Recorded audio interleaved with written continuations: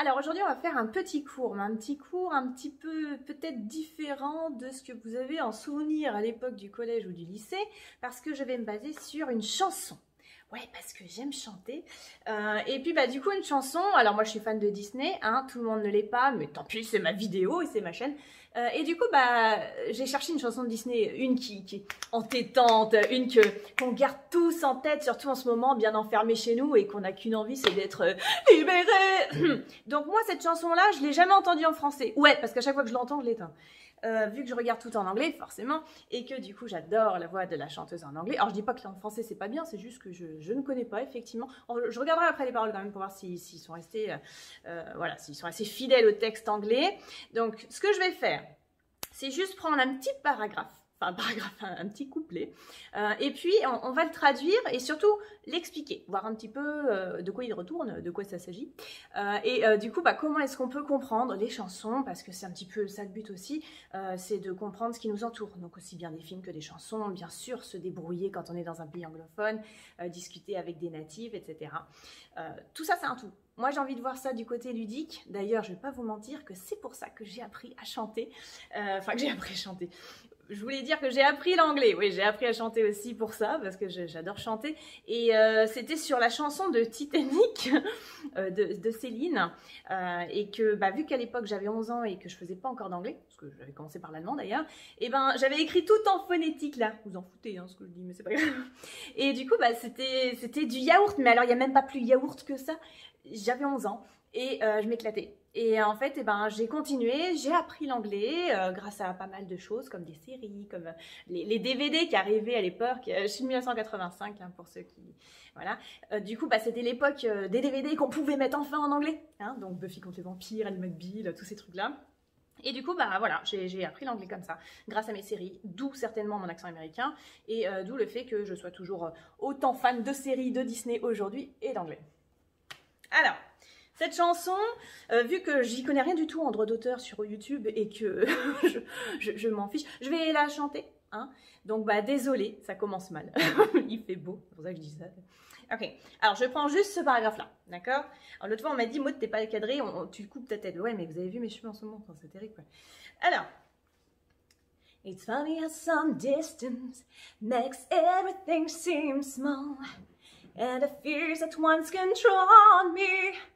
Je l'ai prise vachement trop. On va la prendre plus bas. Hein.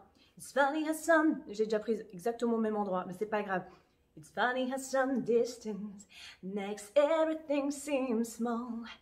And the fears that once controlled me can get to me, I know.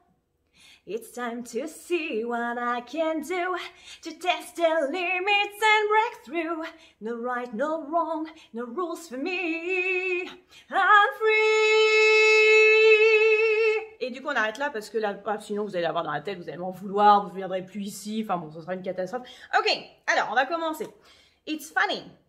Voilà. Je pense que là, jusque-là, c'est bon. Hein Donc c'est drôle, c'est drôle, c'est marrant, c'est rigolo. How? It's funny how some distance makes everything seem small. Le verbe to seem, S-E-E-M, veut dire sembler.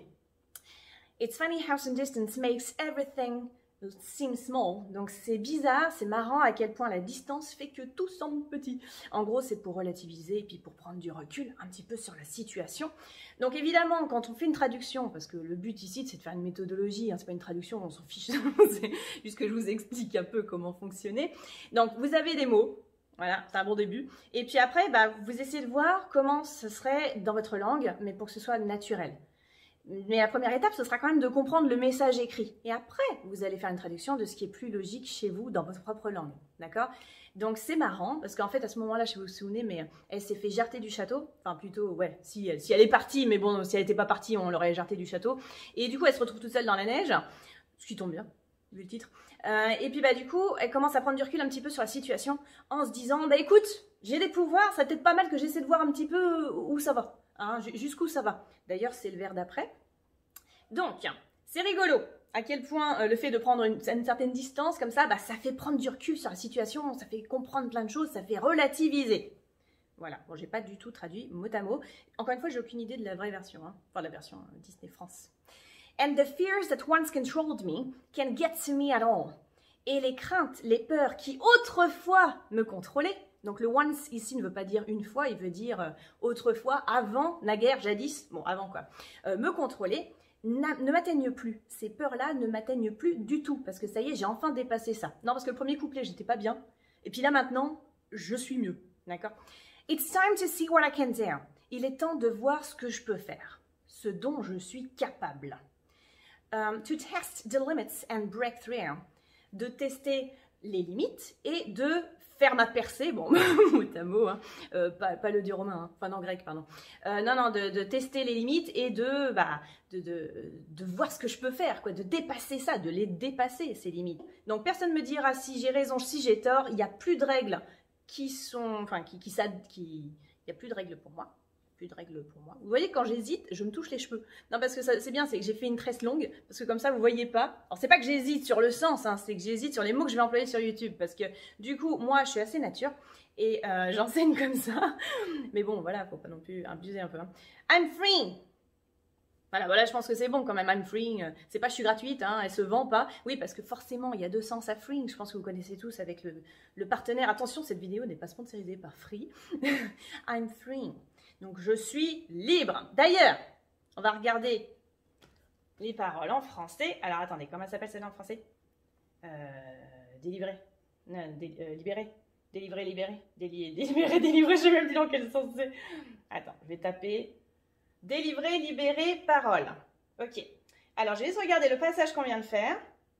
Quand on prend de la hauteur, tout semble insignifiant. C'est mieux dit. Hein. c'est vachement vendeur pour mes cours, mais non, non, enfin moi j'ai dit prendre du recul. ça va, prendre de la hauteur, c'est bon, cocotte. est juste parce qu'elle est sur une montagne, faut pas non plus abuser. La tristesse, l'angoisse et la peur m'ont quitté depuis longtemps.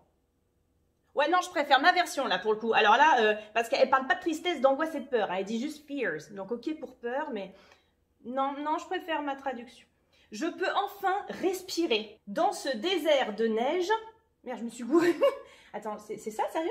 Non, c'est pas celle-ci. C'est pas ce passage. Qu'a dit no rules, no machin, no truc. C'est pas ça les paroles quand même. Dans ce désert de neige, adieu le printemps et l'été, je préfère mes sortilèges. Quoi? Pardon, c'est ça les paroles en français? On va s'arrêter là pour les paroles en français. Je... Non, c'est pas possible. Ok, bon, tant pis. Euh, du coup, en fait, c'est juste pour montrer que, ouais, tout support est bon. D'accord? Tout support est bon. Moi, j'adore chanter. J'ai un petit groupe de musique qui est top d'ailleurs, qui sont plus pros que moi. Euh, et puis en fait, eh ben, c'est pour ça que je me suis mise en anglais à la base. Et les séries et les jeux, oui, parce qu'on a le droit d'être prof et geek.